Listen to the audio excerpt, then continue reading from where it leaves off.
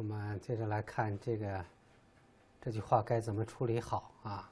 这个义啊，在古代汉语当中呢，它除了我们熟悉的那个意思以外，它经常跟那个呃利益的义是可以互相通假的啊，有这种情况啊。那么我们从利益的义的角度入手，来看看能不能这个解决这个问题。这个利益的义的本意，一般认为是水漫溢啊。大家之所以这么认为啊，因为小篆当中这个义字，它是这样写的啊。大家看是这样，下面是个器皿，上面呢水溢出来的样子啊，所以大家认为这个义的本意就是水漫溢啊。但是后来我们发现了很多的出土材料啊，这个出土资料呢，使得这样一个常识发生动摇啊。我们看下面这几这一组啊，是西周初期的金文，那么是周成王时期的，是比较早的，有这么一组经文的材料。这四个材料，它的王呢都是周成王啊，其中的这个德是周成王时期的一个臣子啊。这四个青铜器啊，都是德做的，都是德做的，应该说它是可以说是同一时期的东西啊，而这个表述的这个句式也都是差不多的啊。前面的这个字呢，肯定是这个赏赐的意思，说这个王呢给德。赏赐了贝、面棚，啊，二是二十棚的贝，然后德呢就用它来做了这个青铜器，宝宗仪啊，就是指的是他铸的这个青铜器，啊，这个做就是制作的意思，啊，那么这个也是一样，啊，下面这个说王书德，书德也就是德。啊，也是同一个人。王呢给这个舒德呢赏赐了这个几个仆人，啊，还有贝石盆杨白，然后他就做了这个宝宗仪，啊，这都是啊，周王赏赐他一些东西以后，他为了表示感谢，就铸个鼎，把这个事情记载在上面，啊，当然同时也是一种炫耀。因为作为周天子啊，能够赏赐他，他肯定是一件光荣的事情啊。下面的这个意思也应该是这样的啊，一样。就这样一个语言环境，这几个词的意思，就这几个古文字的意经文当中的意思，都是赏赐，这一点是毫无疑问的啊。好是，那么前三个，大家呢？认为是一个字，啊，字形上也可以看得出来，是吧？啊，是一个字。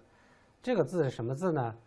有不同的理解，啊，呃，有人认为啊，这个字呢，就是“夷”字，就是这个字，知道吧？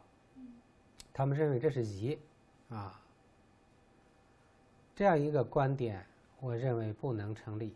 为什么？因为夷啊，这样一个青铜器啊，它出现在西周中期，看见没有？啊，西周中期，也就是说西周初期的时候还没有这样一个器具出现，啊，那么既然没有这个器具，也就不存在根据它去造字的问题，啊，或者是反映它的这样一个一个词的存在，啊。我们仪呢，大家可能熟悉，就是春秋时期比较多啊。它其实是古人啊用来洗手洗脸的时候的一个用具啊。一个人呢拿着用用拿着仪呃浇水，另外一个人呢洗，下面一个盘盛着，啊，我们看到《左传》当中啊有“凤仪卧冠”这样的说法，啊，那个仪就是指的是这个这种东西，啊，但是这个东西它在西周初期还没有，啊，我们到现在没有发现有这样的器皿出土，所以。你说那个字是“仪”字呢，它就跟这个器物的出现的年代对不上号，啊，对不上号。所以这是第一个行不通。第二个，“仪”本身啊，也没有赏赐的意思。那么在那个语境下，它肯定是赏赐的意思，这点是谁也不能否认的。但是你把说成是“仪”呢，这个赏赐的这个意思也出不来。啊出不来，所以不是乙。那么它应该是什么字呢？大多数学者认为，这两这三个至少是啊，大家大多数认为就是这个利益的益，就是利益的益啊。而这个第四个呢，这个呢，就是我们所说的容易的易啊，容易的易。第四个毫无疑问是容易的易啊，因此就出现一个问题：学者们认为写成这个易是这个易的假借字啊，这个借的假借字，而容易的易啊，在古代是经常用作赏赐的意思，这个是很常见的啊。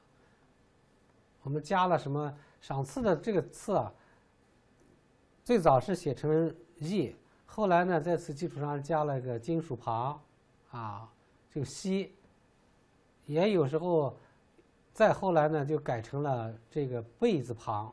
这个字形的发展过程是这样的，啊，“义”呢是他们认为是赏赐的本字，啊，而“利益”的这个“益”呢是假借字。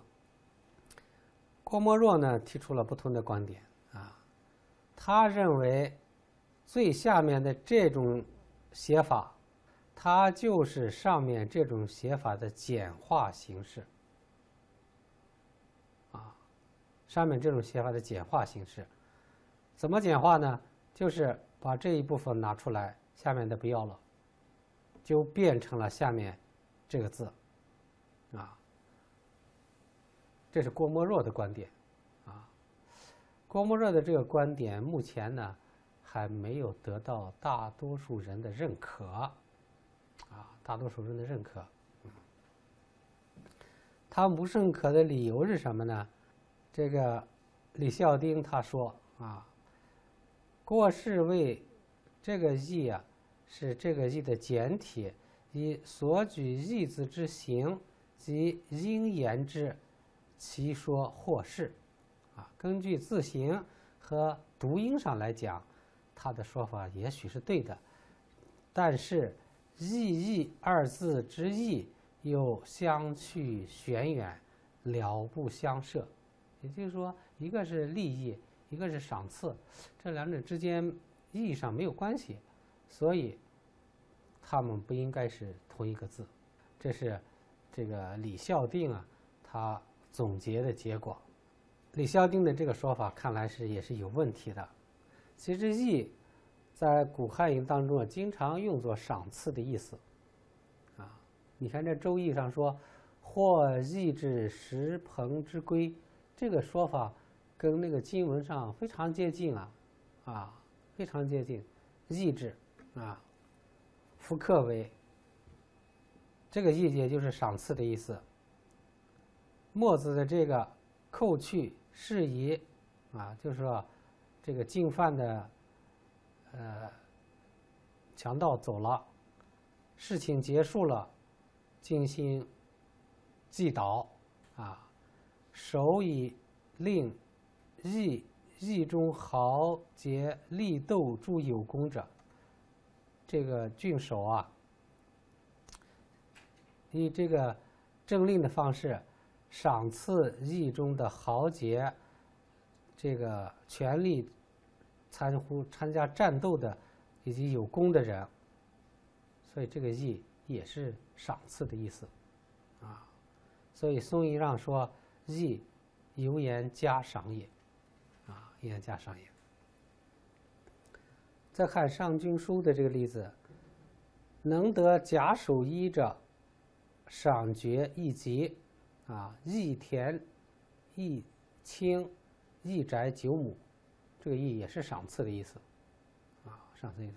所以说这个义啊，当赏赐讲，在古文当中啊，有很多的例证。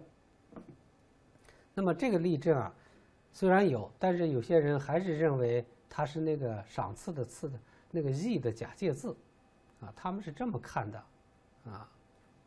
那么这样一种看法，恐怕是有问题的，啊，有问题的。这个字是义字。它的源头呢，我们可以追溯到甲骨文，啊，就是金文当中的“义”啊，它的源头在甲骨文。甲骨文当中有这样一个字，啊，有这样的一个写法。这个旁边这个，就相当于是一个跟这个金文当中的这个是完全一样的，是吧？完全一样的。它像什么呢？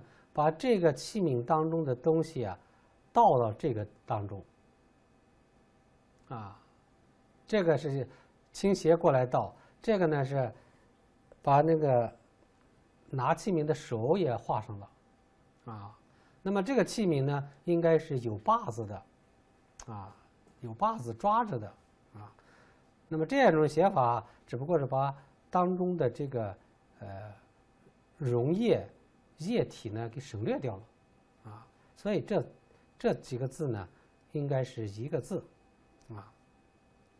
那么这个字呢，甲骨文当的这个字啊，学者们也有三种释法，啊，有人认为是这个字，有人认为是这个字，还有人认为是这个字。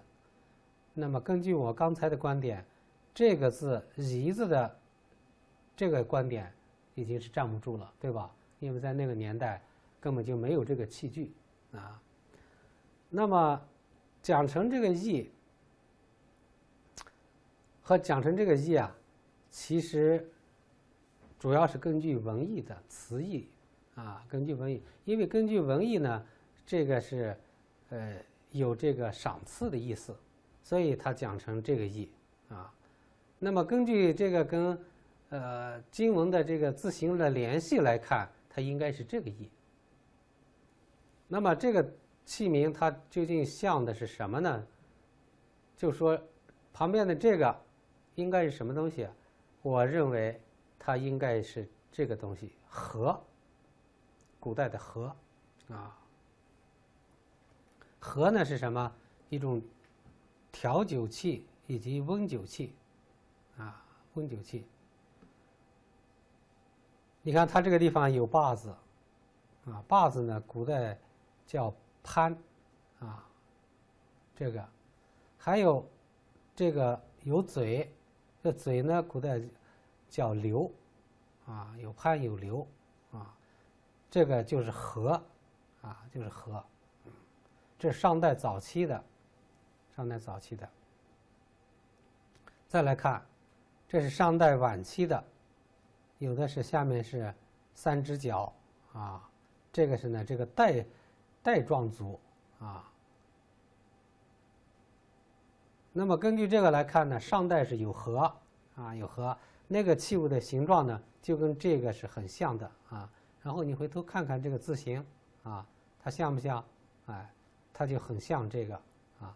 这个地方有个把子，这是有足，这个是往这儿倒啊，往倒。所以这个字它就是呃，把一个。河里的酒倒在酒杯里的一个表示，而这个经文当中，我们还看到这个“河”是这么写的，啊，大家看，这是“纪伯河”，上面这个“河”字这么写，啊，这么写，然后这个“元和”的“和”，这个时候就已经出现了形声字了，知道吧？这是和，他把这个读音呢就放在里边了。这个呢是只不过是把这个盒子呢放在外边旁边了，啊，旁边了。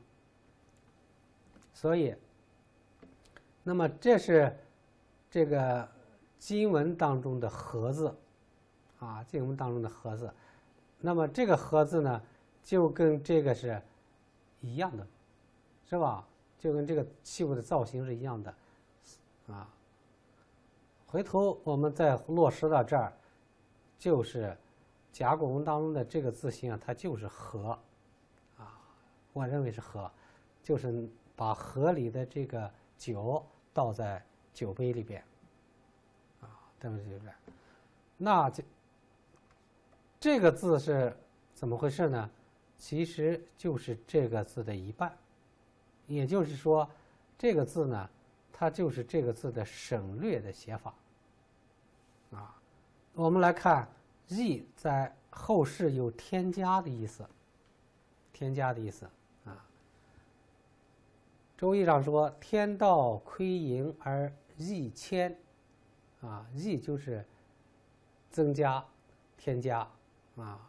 再看《国语》说：“昔世有事虫也，而易之以三怨，其谁能忍之？”米诰说：“易有加也。”啊家也。换句话说呢，“义”既然有“家”的意思，我们回头再来看甲骨文当中的那个字形，它跟哪个意思相符合？应该是跟“添加”相符合，是不是？它就是把这个里边的酒添加到另外一个酒杯里边。所以“义”的本意啊，不是水漫溢，而是添加。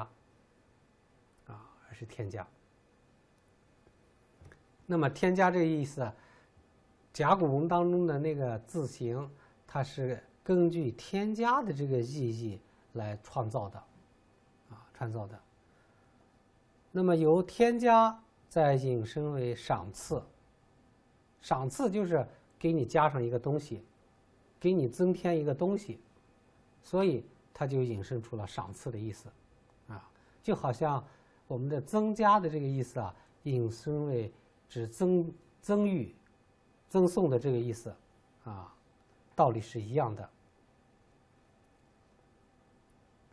增加呢就会富饶，啊，我给你增加了，你的东西就多了嘛，多了以后就是饶嘛，所以说文上说“易饶也”，啊，说文的这个解释啊，应该是这个“易”的一个。后来的引申义，啊，后来的引申义，如果增加的物体是水液的话，那就会存在这个涨溢的问题，啊，满溢的问题，所以又引申了涨溢这个意思，所以长义的意思啊，应该是引申义，不是义这个。字啊，它最早的本意，啊，所以古文字的这个资料啊，不支持“义”的本意是慢意的这样一个常识，啊，慢意应该是“义”的后起义。我们来看这个“义”的这个演变图啊，甲骨文当中这么写，这个写法比较复杂，所以就开始省略。啊，可以省略成这种形式，也可以省略成这种形式。这两种形式都是易，因为它是这个的简化的写法。那这个写法再进一步简化，就变成了这个易。而这个易呢，就是经文当中常见的写法，它就是这个，跟这个是对应的啊。这样看来啊。利益的这个“益”和容易的这个“义”，最初呢，它是一对异体字，啊，是异体关系。本身呢，并没有什么意义上的区别，它只不过是字形的一种简化形式而已。所以，这个“义”和这个“义”，它是有意义上有关联的，啊，只不过这个“易”呢，我们容易的“易”，我们。经文当中啊，经常多用作赏赐的意思，都用作赏赐的意思。这是这个义的这个演变过程都是这样的。我们再来看西周初期的经文，河龟上合轨上有这样的话：为八月公仪寅年啊，这个公这个字就是义啊，义和背是旁啊，这个字它中间呢，把那个水液也都省略掉了啊，把字也没了，但是。这个和这个流啊是比较明显，是吧？它强调了这个流的长度，长度。那么这个字呢，应该是这个字的这个“义”字的进一步的省略，所以这个也是赏赐的意思。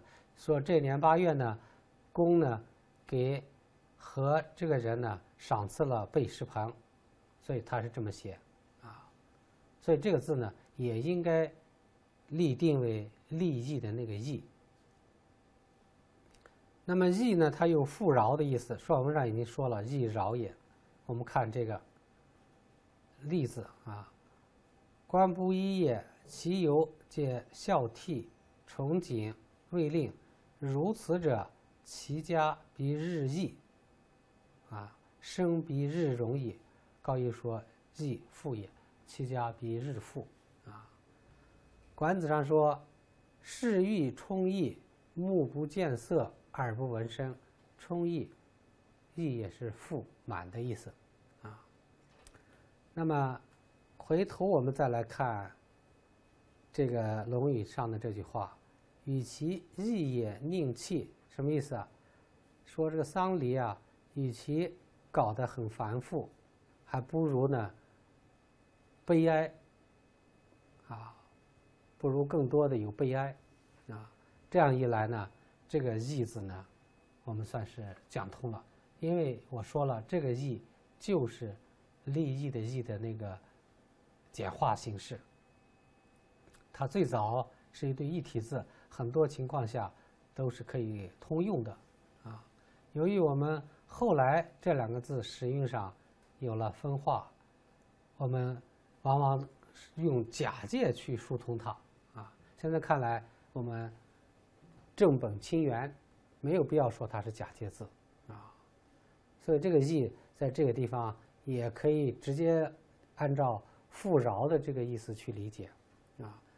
那么丧礼你搞得那么繁复，还更多的宁可悲哀的表情多一些啊，是这样，这就文从字顺了啊，字顺了，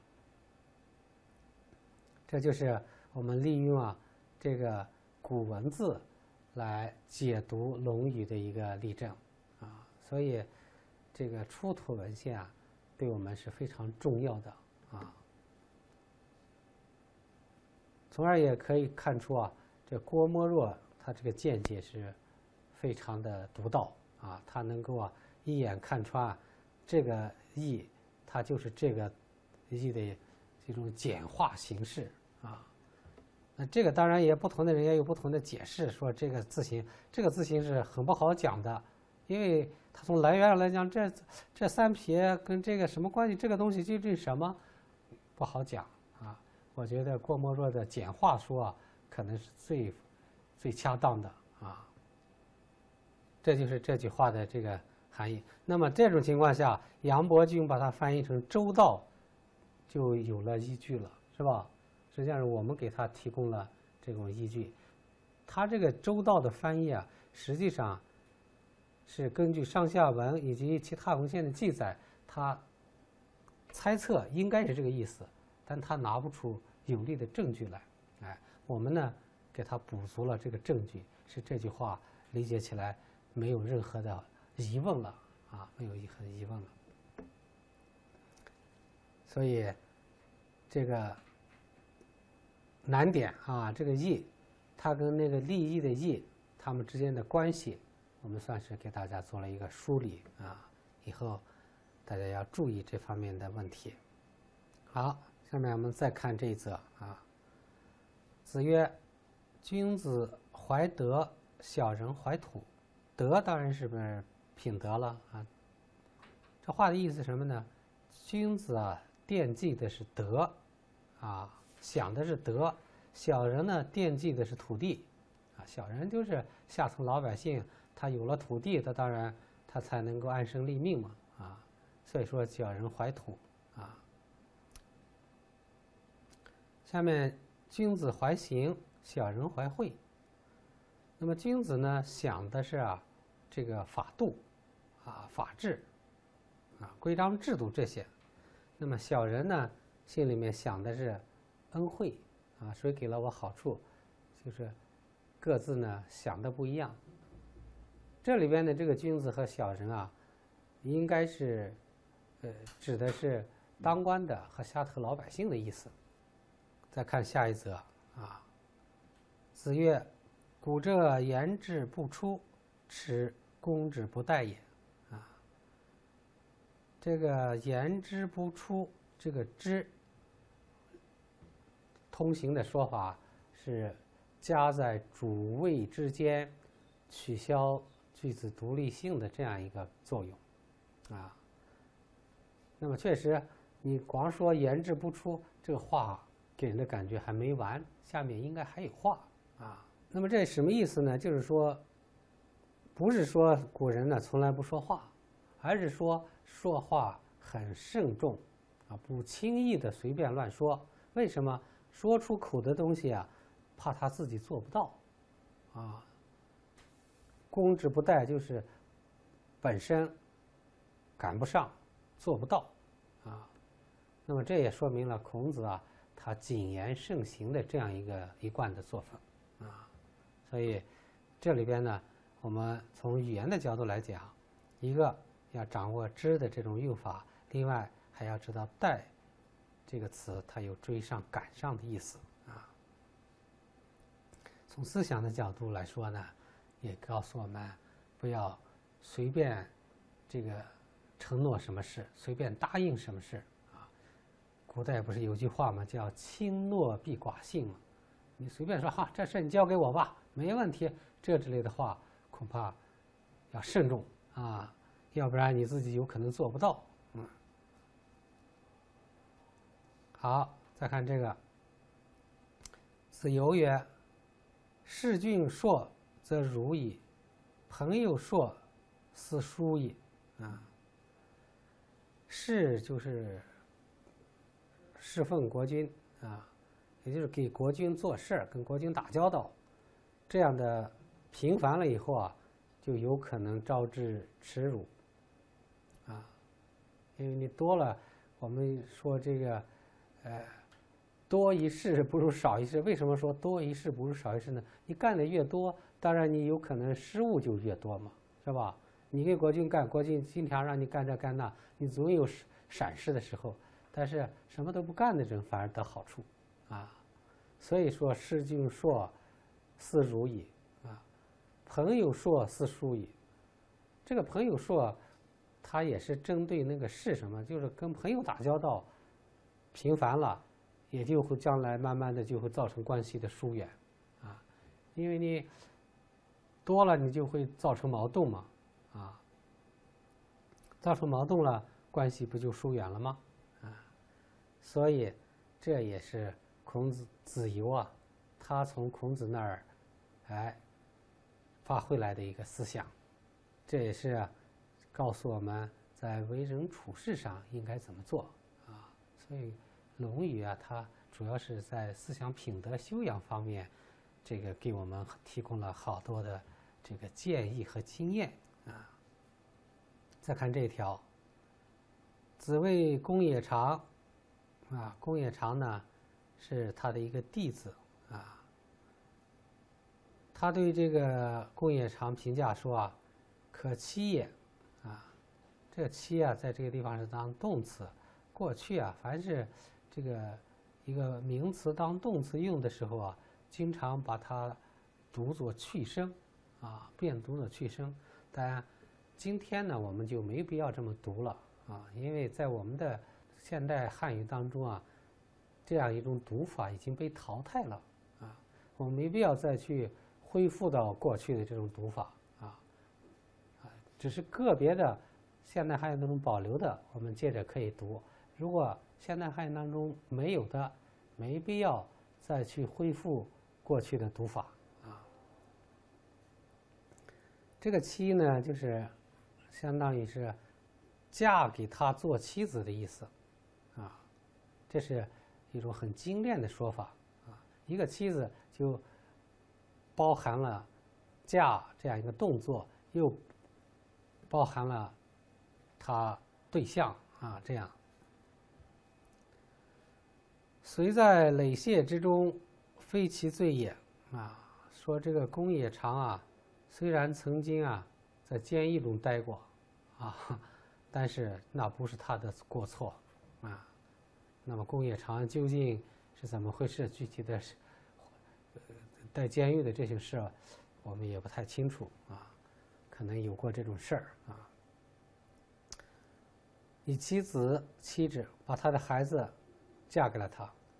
那么这个子呢，就是泛指孩子啊。那么孩子有女儿啊，也有男儿。那根据文义啊，我们知道他这个地方应该是女儿的意思啊。就是一个词啊，它在具体的语境当中啊，它是有变化的啊。但是我们不能根据这个说子在古代有女儿的意思。那么这个语境当中，它却是这样，但这是这个语境意，它不是这个词本身的意思。它实际的意思呢，还是这个子女的意思，啊，子女的意思。但是另外一方面，我们知道子呢，在古代还有一个特指的含义，就是儿子，啊，但你不能说儿子这个意思也不存在，啊，我们只能把它理解为子女，这也不对。为什么呢？因为当儿子讲的这样一种用法。它的这个使用的频率是非常高，啊，当一个一种语境义在高频出现的时候，它这个意思在人的大脑当中就已经固定下来了，所以它就可以作为一个独立的意味，啊，可以独立的一项意义存在。所以，我们说女儿的意思出现的频率很低，不能成立，啊。但是，儿子的意思出现频率很高，所以可以独立，啊，可以独立。这就是我们这个怎么样去把握一个是语境义和它的固有义之间的关系的时候，应该考虑的啊。好，再来看这条。这个孔子说啊，道不行，道。就是他的主张，他的观点行不通啊。我的学说啊，行不通的话，乘浮浮于海，我乘着这个浮，浮是啊，把竹竹竹子或者是木头编成的那种竹筏筏子啊。一般呢，把大的叫筏，小的叫浮。这是筏和。福的区别，啊，他的意思是说呢，我的学说观点行不通啊，我就乘着小木筏呢，到大海上去漂，啊，这种情况下跟着我的恐怕就是仲由吧，啊，仲由就是子路，子路闻之喜。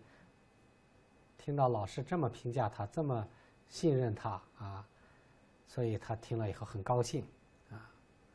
但是孔子马上就说了：“子曰，有也，好勇过我啊！他这个人啊，太勇敢了啊，这个都比我都超过了啊，无所取材。这下就把他给贬了一通啊，说这个是不可取的啊。”这个无所取材啊，就是没地方取材料，就是你这身上这种是不可取的啊。当然，这个“材”字呢，也有另外一种解讲法，就是把它认为是那个“载”的呃假借字啊，就是无所取在，没有什么可取的啊。当然，这个讲法我觉得我们原文啊，照着材料的才能讲通的时候，没必要再说是个假借字啊，假借字，所以还是照着材料的材来讲就可以了啊。